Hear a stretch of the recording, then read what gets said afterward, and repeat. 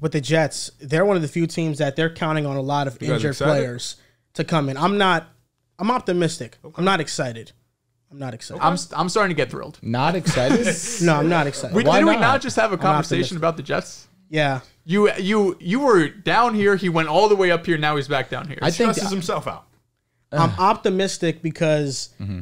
we have a really good team. This team could be this is the most number one in the AFC. East. Yes.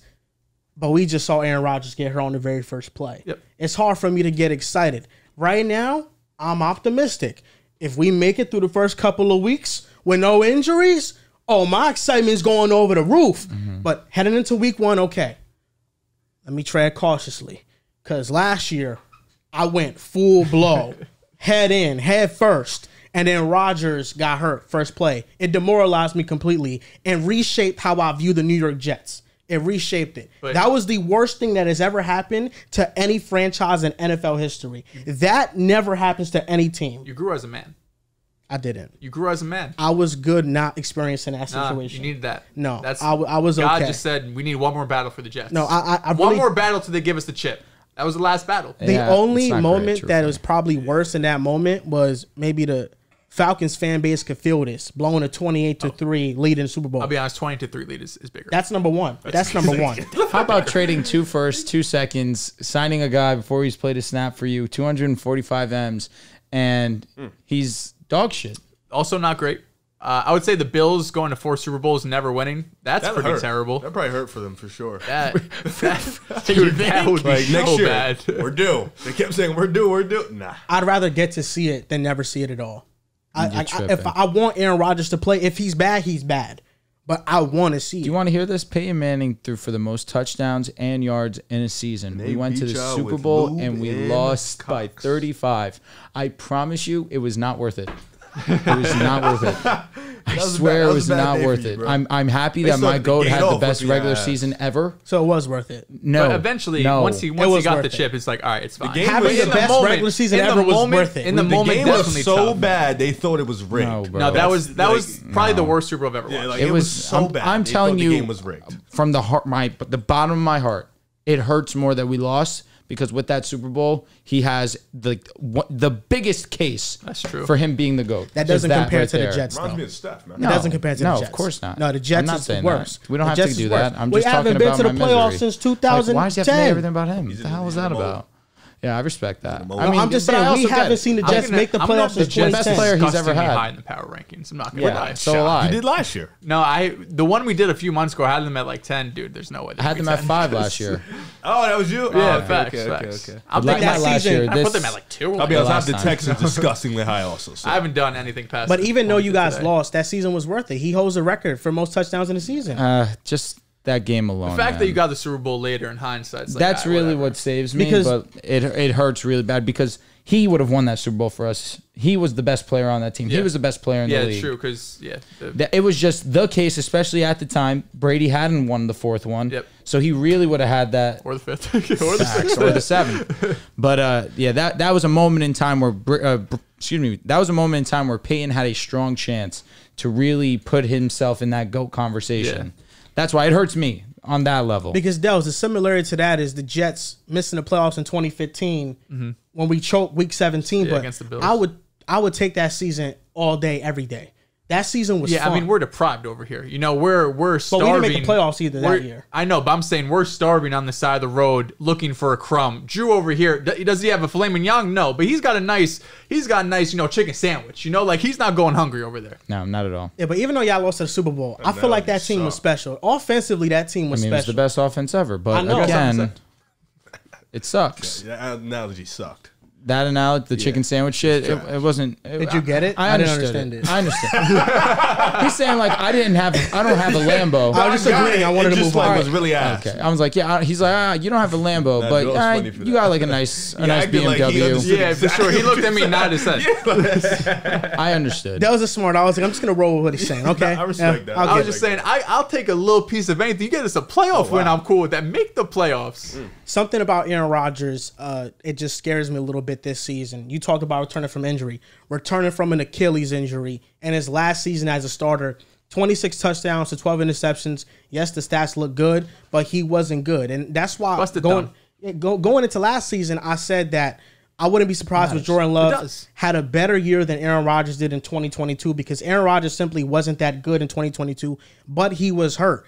But it, it kind of goes with the point. Aaron Rodgers is older. He's fragile right now. We don't know if he can sustain a full season and be healthy for the entirety of the season. So I'm cautiously optimistic. I hope he returns to form and he could be an MVP candidate this year. I think we have the offensive pieces to surround him, but I wouldn't be opposed if this is one of those offenses that are just run first Yes. and we really play through the run Absolutely. game. Because I think Breece Hall can have an 1,800 rushing yard season if the offensive line holds up in front of 18 him. is a lot. no, I, I think he Spell could. late. Breece Hall can be number one. You're invited in to the party, rushing bro. yards. Don't worry. 18 It- is it a don't- I don't shit ton of be yards, invited. man. 18 Nah, is a lot. Said I don't Just here's a personal invite from us.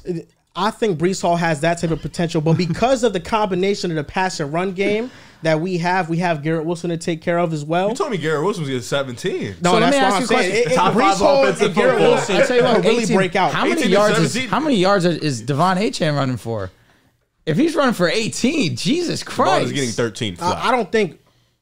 I don't think Breece Hall is going to run for 1800. I uh-huh. think he's that good that he uh-huh. can have a season where he can do it. But that's why I want to play through our running game. I feel like him getting 12 to 1300 yards is in the cards. That's very realistic. And we play through him.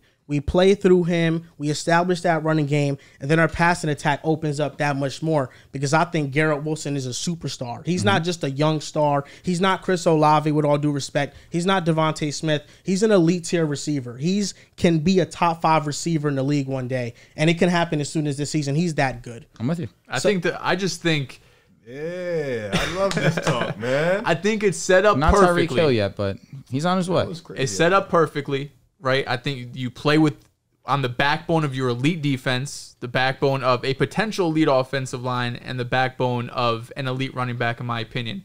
And then at the head of it, you have a quarterback who has been basically the least turnover prone quarterback in NFL history for a majority of his prime, for basically his entire career. If you take out like the 12 interception season, especially when he was winning MVPs, if you're going to have a team that could run the ball that successfully, not turn the ball over, and have probably, if everyone stays healthy, the best defense in football with multiple guys that can rush the passer, multiple shutdown corners, arguably the best corner uh, linebacker duo in the NFL with the great defensive mind, Robert Saleh. It is set up to be perfect. And people don't want to hear it. I get it. It's the Jets. It happens every year, and They're they manage to screw it up. But it's set up if you just look at it objectively. Of course, Rodgers has to stay healthy, but the pieces are there where they can be an elite team. objectively looking, the Jets is it's very easy to get excited about them this season and last season as well.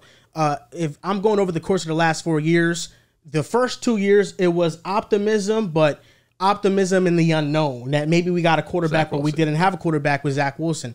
This team is actually really good, and they can make it all the way to the AFC Championship game. And I think we got the defense. We got a Super Bowl level defense On paper, you have arguably the best roster in football, and I truly believe that. But if there was no drama, it wouldn't be the Jets. And there's already drama starting with Haason Reddick. Mm-hmm. That's my biggest concern right now because He's really Haason, playing, y'all. Haason Reddick is a good player, and we need an edge rusher because we just steal. lost You Bryce Lost Huff. Bryce Huff. You're like, all right, fuck it. We'll take Haason. We'll swap Damn, a nice him. little not, cool I'm, money. not, I'm really not worried. Yeah, I know. Pay him. He- I mean, listen. Hopefully the Jets do pay him, but if they don't, what's he gonna do? Not show up to all? Like Chris Jones sat out week one of last year, and he was fucking dominating. And You know, Haason so Reddick's not Chris Jones. he's not Chris Jones, but he's a high level player that I don't think does that sitting you out is gonna miss time. That's gonna That's what miss. I'm you know, wondering. No, I'm uh, saying it doesn't. No, his Haason impact. Reddick doesn't have the cachet to where he could sit out. I hope we find mean, him. man is gonna we sit out find if a him every week. He's when he gonna does get, show he's gonna get fined every day. Eventually, he'll show up. Maybe they have an extension. Maybe they don't. But he's gonna play this year. because he said he would play without an extension. He said that. That He, he's got to be a man of his lied. word. That means he'll leave next year. No, yeah, flat like flat gotta be a out man lied. his word. Flat out lied. Lied. he doesn't give a be a man of his fuck. He doesn't give a fuck. You're he wants his his money. bread. Like, are we? He is getting his money, just not past So this fuck CeeDee season. Lamb. Is that what we're saying? No. Fuck Brandon Aiyuk. Is that what we're doing? CeeDee Lamb is getting his first payday for real. Haason Reddick's been a veteran. Like, come on, bro. I'll be honest, Haason. I don't think the Jets want to extend him until they see him play. yes, Because you he's have to pay- older defensive lineman. You have to pay Sauce. You have to pay Garrett Wilson. You're like right. there, you have two like record-breaking deals sitting at your hands potentially, and you have potentially too Jermaine Johnson and Will McDonald to fill out that edge rusher. So if they're both studs, you don't need Haason Reddick. You don't need to pay him. we didn't make a fuss about paying Quinnen. Quinnen got his money Deservedly. instantly. The same will happen with Garrett. The same will happen with Sauce Gardner. I 100% believe it. We're not going to whiff on those guys. At least I hope and pray to God we don't whiff on them. Mm-hmm. Haason Reddick was in Japan playing with swords instead of i- at uh, Taking fire mandatory flips. mini camp. Yeah, yeah. No, They never do that to there's always something with the Jets, and we're starting early right now with this drama because he Uh-oh. said he was going to play.